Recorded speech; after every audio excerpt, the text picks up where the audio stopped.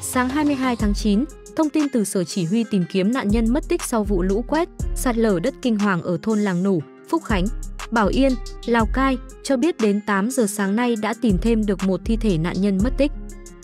Thi thể nạn nhân được tìm thấy là cháu HDL, sinh năm 2023, được tìm thấy tại khu vực suối Làng Nủ.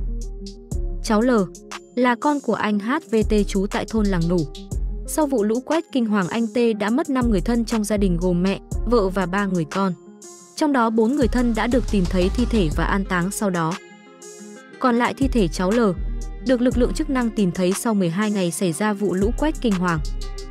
Hiện anh Tê cùng người thân trong gia đình đang tiến hành các thủ tục mai táng cho cháu.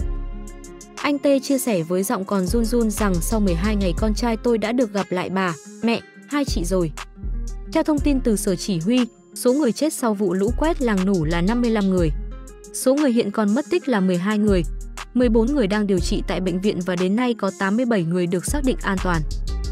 Trong những ngày qua, lực lượng chức năng gồm quân đội, công an, địa phương, người dân cùng nhiều máy móc, chó nghiệp vụ tích cực tìm kiếm người mất tích.